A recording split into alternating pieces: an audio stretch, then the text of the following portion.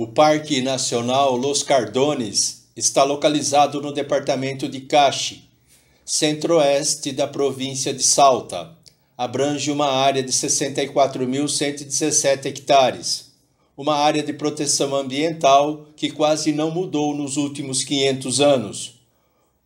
Entre os animais, encontramos algumas espécies raras ou em perigo, além de guanacos, chinchilhones, tatus, e muitos outros.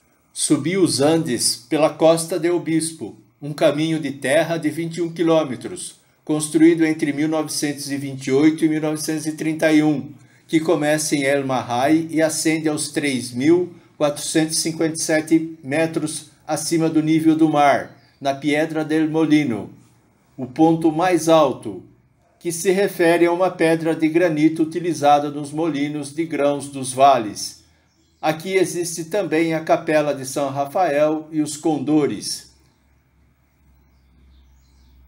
É uma estrada repleta de curvas com vistas para o Vale Encantado. Na reta del Tintim, uma reta de cerca de 20 quilômetros, somos presenteados com a maravilhosa vista dos cardones, que são cactos gigantes que crescem cerca de 2 centímetros por ano Imagina quantos anos possuem os cardones com 3 metros? Esta estrada estreita, através do árido Vale de Tintim, se encontra a 3 mil metros acima do nível do mar. Foi rota inca, desenhada e construída de forma manual pelos povos que viviam na região antes da chegada dos espanhóis. É dominada pelo Cerro Negro, 5.226 metros. Fazer turismo no deserto? A pergunta é sempre a mesma. Que graça pode ter em paisagens áridas?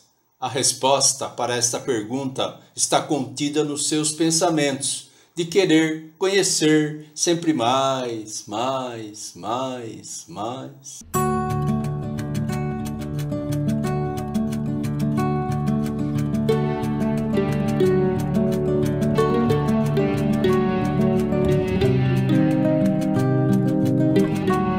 Para uns, inerte.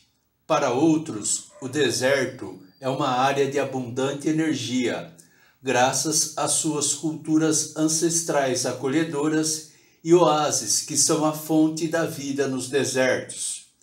Paisagens pré-cordilheiranas e de altiplanos se combinam em um lugar de grande interesse cultural e histórico e lugares de enorme beleza natural visite o deserto e explore paisagens únicas no mundo, salares, geysers e lagoas de uma cor azul intensa. Aproveite a estadia e faça uma viagem pelas estrelas. Aprenda mais sobre os astros e as constelações. Continua achando que o deserto não tem nada para se fazer?